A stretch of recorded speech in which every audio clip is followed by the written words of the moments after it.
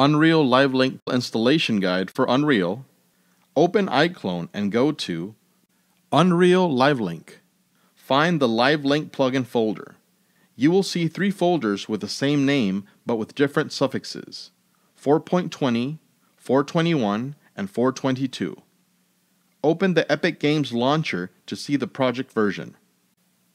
To create a new project, click the Launch button at the top of the right corner of the Epic Games launcher and follow the guide to create a new project.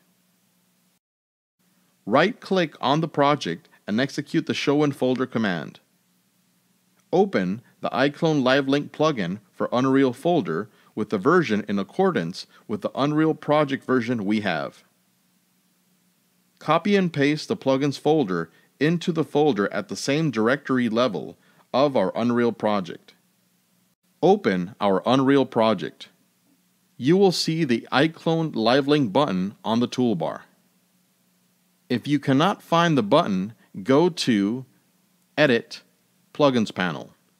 Pick the built-in root and search for LiveLink. Activate the LiveLink Enable box.